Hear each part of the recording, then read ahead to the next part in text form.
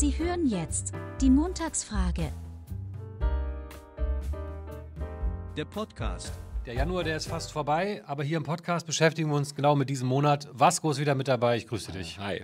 Es geht eigentlich nicht um den Monat an sich, sondern um das, was man sich in diesem Monat auferlegt hat. Ja. Du hast das ja auch jetzt gerade. Ja. Deswegen ist Vasco nämlich ein bisschen schlecht drauf gerade. Ist schlecht. Mies gelaunt. Nein, geht doch. Ich bin doch Sonnenscheinchen. Du verzichtest aufs Rauchen. Ich verzichte aufs Rauchen. Aber, Und- aber nicht nur im Januar. Nee. Für immer. Es passt, es passt aber jetzt tatsächlich Ja. dazu, dass man ja im Januar auch auf vieles verzichtet. Man nennt es den Dry January. Nee, Dry, wie heißt das richtig? Dry January. Dry, Dry January, January? wenn man nicht trinkt. Und Veganary January. January, wenn man kein Fleisch und keine tierischen Produkte isst. Und wenn man jetzt aufhört mit Genussmitteln wie Zigaretten, was ist dann? Fällt das damit rein? Ich glaube, das nennt man einfach nur guten Vorsatz. Ne? Ja, das ist ein guter Vorsatz. Aber es ist auch nur Zufall. Ich wollte, ich wollte eh aufhören. Okay. Ja. Aber es geht in diese Richtung, dann sind wir schon mal da. Es geht um die guten Vorsätze und ob Ja. man sie denn einhalten kann. Du bist ja mittendrin und gut dabei. Ja, ja, ja. Haben Sie gute Vorsätze für das neue Jahr? Deins wäre jetzt gewesen, nicht mehr zu rauchen. Nicht mehr zu rauchen. Ähm, also würdest du Ja antworten auf die Frage. Ich würde sagen, ja. Ja, ich würde ja sagen. 26 Prozent aller TeilnehmerInnen haben auch Ja gesagt. Mhm. In dieser Woche sind es nicht ganz so viele, weil ähm, wahrscheinlich viele einfach keine Vorsätze sich gefasst haben, gehe ich mal davon Das aus. äh, wird sich gleich noch zeigen, aber ja, also äh, die meisten haben sich keine Vor, also ein Dreiviertel der Leute haben sich keine Vorsätze gemacht, aber es haben auch nur 71 Leute mitgemacht heute. Und von denen haben 73 Prozent gesagt, nein, ich habe keinen guten Vorsatz für das neue Jahr. Genau, genau. Gut, okay. Ja, Dann sprechen wir jetzt über die, die einen haben, ne? die einen hatten. Einen hatten, ja. Ja, die einen hatten. Also genau, wir haben auch mal gefragt, ob, wie das in der Vergangenheit war. Ähm, konnten sie ihre guten Vorsätze in den letzten Jahren umsetzen? Und ähm, da sagen weiter 59 Prozent, ich habe mir niemals Vorsätze gemacht. Die meisten haben einfach gar nicht so einen Bock das? drauf. Glaubst du das? Ja, ich gehöre auch dazu. Ich habe mir eigentlich, obwohl, stimmt gar nicht, ich habe einen Vorsatz gemacht. Für dieses Jahr oder generell? Ja, für dieses Jahr, dass ich im Sommerurlaub nämlich meinen ähm, wohlstandsgeformten Bauch, der sich über die Weihnachtsfeiertage auch zu einem wirklichen Mahnmal Ja. heran herangewachsen äh, hat. Oh Gott, das klingt irgendwie ganz Ein, eklig. ein Mahnmal des Binge-Eatings. Ja, ich merk schon. ähm, um es abzukürzen, äh, Ja. im Sommer möchte ich gerne die Männer- Männer-Bikini-Figur haben, Mhm. Ja. die ähm, mir im Kino bei dem Barbie-Film auch präsentiert wurde. ja, ja, du bist Strand vom Beruf. Ich möchte gerne an den Strand und da auch, auch dementsprechend aussehen und äh, deswegen vielleicht nicht mehr ganz so viel Süßigkeiten, vielleicht mal ein bisschen Ja. Sport machen und so weiter. Ähm, aber äh, das ist bei mir auch so, in den, in den letzten Jahren hat sich das immer wieder herauskristallisiert, wenn ich einen guten Vorsatz mir gesetzt habe, dann hat das selten gut oder gar nicht geklappt. So wie 22 Prozent auch hier geantwortet haben. Ja. Nee, das hat selten geklappt mit den Vorsätzen. Ich bin eigentlich auch nicht der Typ, der jetzt ähm, sich Vorsätze fürs Jahr nimmt. Das geht ja eigentlich, also jetzt beim Rauchen, das ist ein Projekt, was schon länger, länger im Raum steht. Deswegen äh, ist es jetzt zufällig, dass es im Januar war. Ich wollte eigentlich letztes Jahr schon damit anfangen. Aber es hat sich dann immer geschoben. Also, Hm, Wie das immer so ist. aber sonst fürs Jahr nehme ich mir ja auch nie irgendwas vor. Das macht, keinen, macht für mich wenig Sinn. 16 Prozent haben auch nur geantwortet, ja, das mit den Vorsätzen, das hat bisher eigentlich immer recht gut geklappt. Genau, ja. Kommen wir zum Vegu, Vegan. Ich kann das Wie nicht. January, wie January. aussprechen. Sprich's aus, sag's mir. Sprich mir nach. Wie January. Wie January. Wie January. Wie January. Ja, und Dry January. Dry January. Ja. Also im Januar vegan leben oder im Januar kein Alkohol trinken. Der Ja. wie January und Dry January. Da- Und das ist ja wirklich krass, dass 97 Prozent sagen, machen Sie mit. Nein, Nein, machen Sie nein nicht. da macht keiner mit. Und äh, beim V-January macht gar keiner mit. Und zumindest äh, ein paar sagen, beim, sie trinken nicht im, im äh, Januar.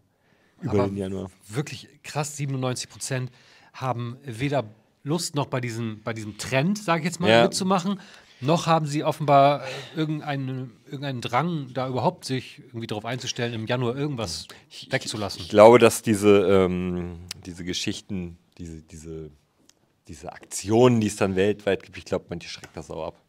Die haben dann schon, weil es dann wieder Trend ist, keinen Bock, könnte ich mir vorstellen. Ja, habe ich auch nicht. Aber da haben wir ja auch nochmal nachgefragt. Ja, was, achso, ja, ja. Was halten Sie von Aktionen wie dem Dry January oder dem V-January? Nichts halte ich davon. Nichts. Du hältst davon nichts. Was haben, haben das, gab es Leute, die auch nichts gesagt Nee, haben? aber Was- 42 Prozent sagen, sie dienen nur der Selbstberuhigung. Ja, das, ist, da- das meine ich mit nichts. Mhm, das Also- ist nichts, ne? ähm, 23% sagen, sie helfen nicht bei dauerhaften Veränderungen. Mhm. Ich weiß nicht, ähm, ob das so ist. Ich denke, wenn man sowas mal ein Jahr im Monat gemacht hat. Ja, ich weiß nicht. Wobei ich auch Doch, sagen doch, muss, könnte schon passieren, ich, find, ich finde immer, ein Monat ist ziemlich kurz. Wenn man irgendwas nicht machen will und das nur Mhm. einen Monat nicht macht, dann ist es sehr leicht, sich über, weißt du, wenn du sagst, ich will jetzt drei Wochen nichts trinken, äh, einen Monat nichts trinken, dann musst du dich irgendwie über drei Wochenenden hangeln. Also das, Alkohol. Das, genau. Das, das, ja, das kriegt man irgendwie hin. Aber ähm, wenn, man, wenn man wirklich mal überlegen will, ob man auch ohne Alkohol auskommen könnte, dann muss man es mal drei, vier Monate machen, um zu gucken, so, ähm, schaffe ich das auch, ohne mich irgendwie nur dahin zu hangeln, sondern wenn du drei Monate das machen musst, dann musst du irgendwas anderes haben am Wochenende, außer zu saufen. Wenn ich jetzt drüber nachdenke, ich glaube, ich habe im ganzen Januar bisher auch noch keinen Alkohol getrunken, Nee. aber ohne da mitzumachen, einfach nur so nicht. Wir waren nämlich letztens in einer Bar, aber da Ja. habe ich einen alkoholfreien Cocktail getrunken. Oh, das habe ich die Tage auch gemacht. Das Weil das, der klang so lecker und Ja. da habe ich gedacht, wenn da jetzt noch Alkohol reinkommt, das versaut's. Wie hieß denn der äh, Cocktail, den du getrunken hast? Der hieß äh, irgendwas mit Bali im Namen. Mit Bali im Namen. Okay, das. Äh, Was wie Bali Sunrise oder so hieß Ja, der. okay. Der war wirklich mit allen möglichen Früchten, das war wirklich lecker, aber ich kann es ja auch nicht mehr genau sagen, was da drin war. ich hatte letztens auch einen, einen alkoholfreien Cocktail und der hatte so einen geilen Namen, der wieder so doppeldeutig war und jetzt habe ich ihn vergessen leider. Wir, wir bewahren uns das auf Ja, für den nächsten genau. Barbesuch und Richtig, wir müssen ja noch zu Ende ähm, sprechen über die Frage, was halten Sie von Aktionen wie dem Dry Also- January oder dem V-January? Die meisten haben ja zur Selbstberuhigung gesagt. Ja. Und ich finde auch die Selbstberuhigung, dass man macht sich vielleicht ein bisschen was vor oder man versucht sich zumindest so ein bisschen so in diese Stimmung zu bringen, ich kann das auch schaffen, Ja. ich mache das auch gerne mal, jetzt im Monat ja, nicht. Aber, es, aber es ist ja eigentlich auch nichts Schlimmes. So. Nein, überhaupt ist, nicht. Ähm, und eigentlich ist es auch geil, wenn danach dann, wenn man zum Beispiel im Februar sagt, ich habe jetzt irgendwie aus dem Januar so viel mitgenommen, ich Ja. behalte das erstmal bei. Genau. Weil dann werden aus einem Monat ganz schnell zwei und dann vielleicht sogar drei. Genau. Hier sagt ja auch, ähm, 7% der Leute sagen ja immerhin, der Teilnehmer, Teilnehmer, ja, genau, sagen, äh, sie können Dauer, die, die Aktionen können dauerhaft helfen, das eigene Verhalten zu hinterfragen. Und weitere 8% sagen, gemeinsam gefällt der Verzicht leichter. Weil man jetzt in so einer Art Community ist, Ja, wenn man vielleicht. jetzt da mitmacht. aber- Vielleicht, aber, die Leute brauchen ja auch oft irgendwie ein Wort für irgendwas und Ja. eine Gemeinschaft. Ich, mir ist das egal.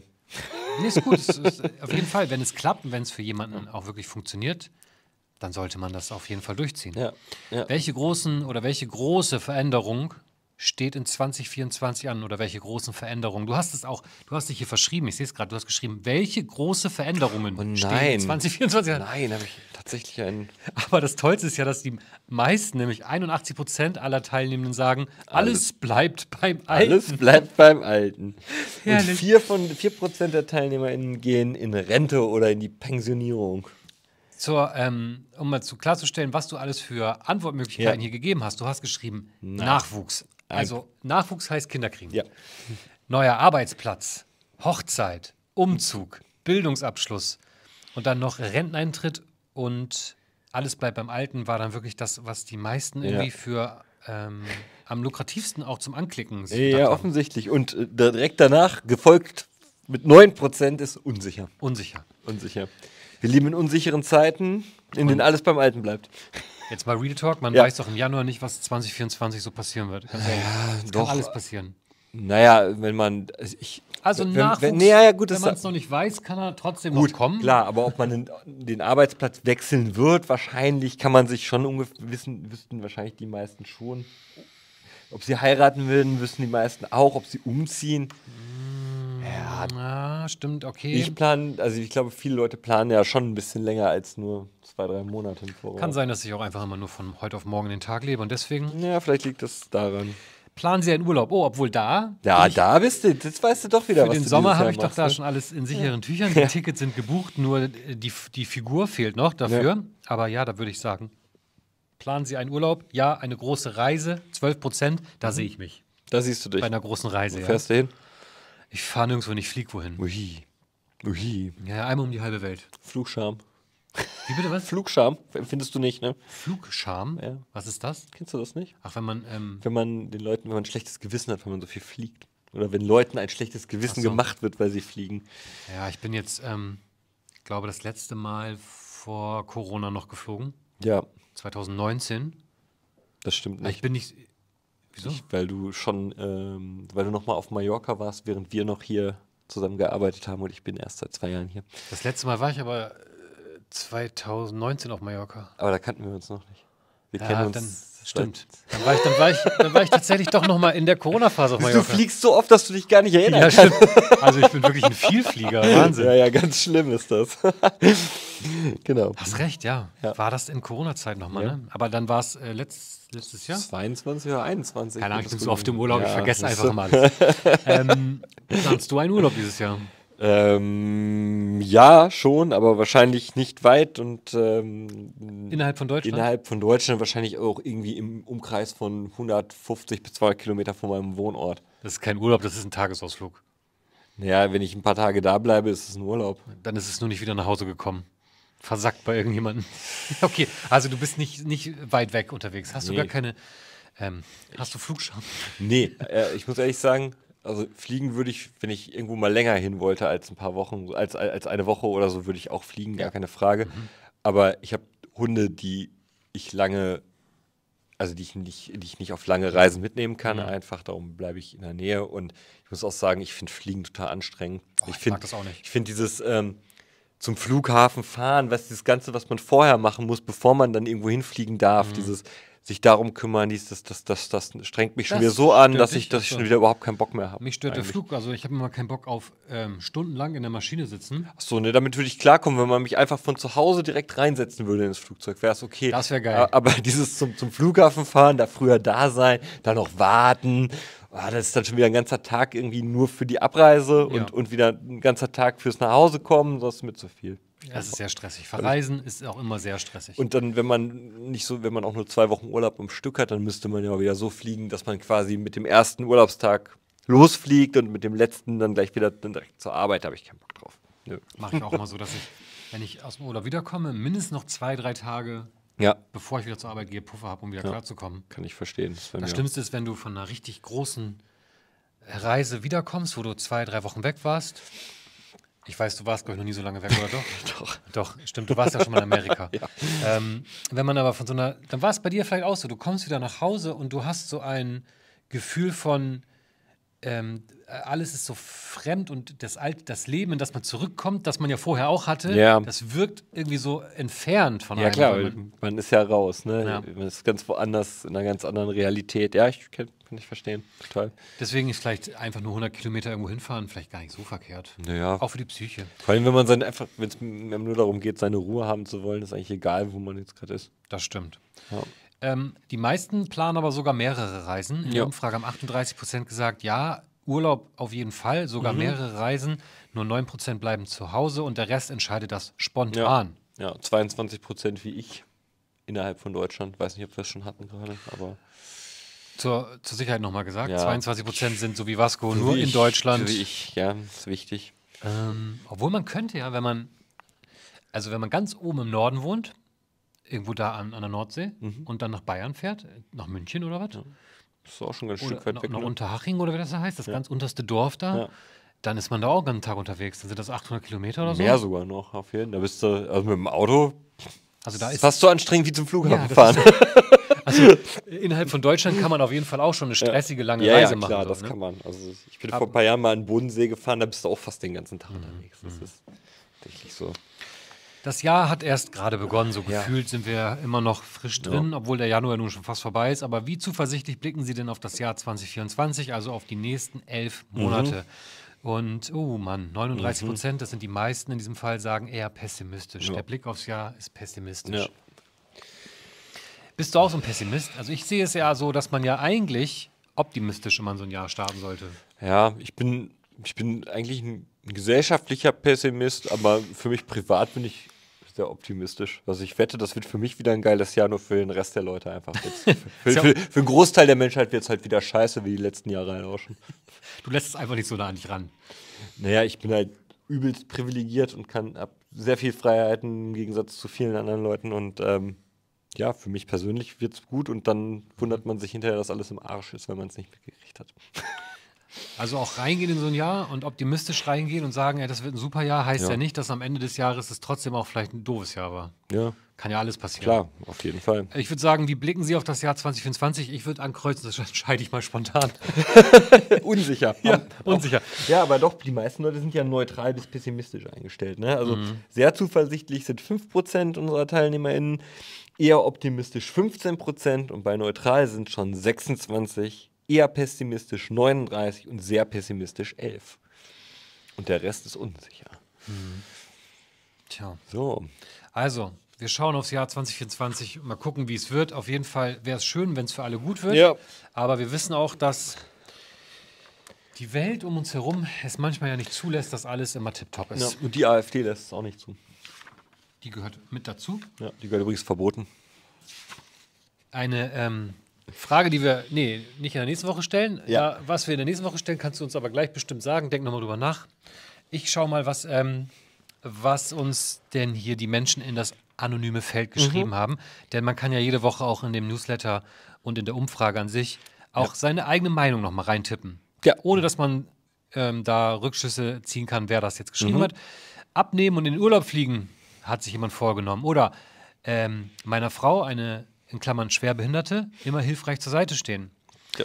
Was haben Sie sich vorgenommen? Jemand antwortet nichts. Et kütt, wie et kütt, wie RheinländerInnen zu sagen pflegen. Jemand hat hier gegendert. Gegendert. Nice. Nice. Sehr nice. ähm, gesünder Leben oder Krankheiten vorbeugen ist auch so Ja. eine, eigentlich jedes Jahr immer so eine äh, gesetzte Sache, Ja. die man sich vornimmt, Ja. oder? Ja. Finde ich hier auch gut. Mehr Flagge zeigen, für mich wichtige äh, Ereignisse persönlich vertreten. Das ist auch eine gute Sache, finde ich. Mehr Flagge zeigen bedeutet ja auch, dass man mehr für Seine Überzeugung einsteht. Genau, Ja. dass man auf, auch einfach mal das Maul aufmacht, Ja, wenn man was genau. sagen möchte. Das ist. Gewicht reduzieren, das hatten wir jetzt auch schon bei mir. Das Ja. ist ja auch so ein bisschen mein Vorsatz. Ja. Keller und Arbeitszimmer ausmisten ist gut. Ja. Das kenne ich aber auch. Ich denke, das ne? hat man während der Corona-Zeit gemacht. Ja, aber guck mal, die ist ja jetzt auch schon. Corona ist ja lange vorbei. Und, Gefühlt, äh, ja. Gefühlt, genau. Und ähm, da hat sich ja schon wieder einiges an Müll angesammelt bisher. Also bei mir auch. Ich bin 2020 umgezogen, habe ganz viel weggeschmissen Mhm. und jetzt könnte ich auch wieder ausmisten. Also Ich lebe immer sehr ordentlich, muss ich, weiß, sagen. Und ähm, die Unordnung ist dann immer da, wo sie hingehört, nämlich in den Abstellraum oder, Ah ja, oder ja. vorm Abstellraum, Ja. an der Ecke. Ja, okay. Ähm, jemand hat geschrieben, gesünder und weniger essen. Und was haben sie sich vorgenommen? Mehr Sport, Kultur und politisches, politisches Engagement gegen Nazis. Das, das unterschreibe ich, da mache ich auch mit. Mehr Engagement gegen Nazis und gegen die AfD. Also, Vasco, da bin ich komplett d'accord. Schön, das freut mich. Und wünsche dir jetzt noch einen schönen Tag und allen, die zugehört haben, natürlich auch. Wir hören uns wieder in der nächsten Woche. Ist dir eingefallen, was wir ja, nächste Woche wir haben? beschäftigen uns mal mit den Neuerungen, die in den Arztpraxen vor sich gehen, wie zum Beispiel dem E-Rezept oder der elektronischen Krankschreibung und fragen unsere LeserInnen, was sie denn von diesen schönen Neuerungen halten. Die sind super. Ich bin mal gespannt. Ich habe mich noch nicht damit auseinandergesetzt. Oder zum Beispiel, ob man auch einen Videocall mit seinem Hausarzt machen möchte. Da können wir uns ja dann nächste Woche nochmal drüber unterhalten. Ich glaube, du hast da Mhm. Das Erfahrung. wird toll. Ich, ja, ich erzähle von meinen Videocalls mit den Ärzten, mit denen ich bisher gesprochen Ja. habe. Es waren immer verschiedene Ärzte Ja, und es waren ähm, immer Videocalls, die, ich glaube, unter 60 Sekunden waren. Und danach hatte ich, hatte ich meine Bestätigung, ich ja. bin krank. Du bist krank. Okay. werde aber auch wieder gesund. Gut, das ist immer das Schönste, wenn man das auch Ja, weiß. dafür geht man ja zum Arzt. Also, wir sehen uns klar. und hören uns nächste Woche wieder. Macht's gut. Mach's gut. Bis Tschüss. dann. Ciao.